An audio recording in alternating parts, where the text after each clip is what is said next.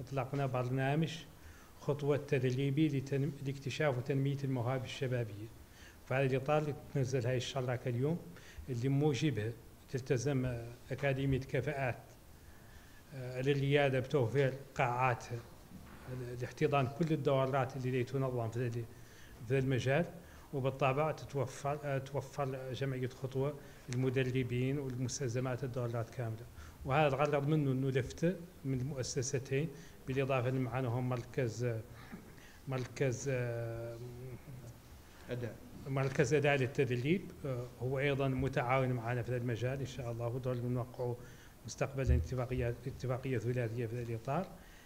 هذا ندور منه نستهدفه منه ذا الشباب ذا الشباب اللي أصحاب مواهب. للأسف عيات ما تكتشف وعيات لا اكتشفت ما تستغل وعيات اللي تستغل هم اللي ينشبر ياسر من المشاكل اللي يظهرها ويبرزها بشكل بشكل سليم. فهذا اللي طال قالت هاي المؤسسات إنها بشكل تطوعي هذا برنامج هذا هو برنامج تطوعي إنها تقدم هاي لفتة للشباب.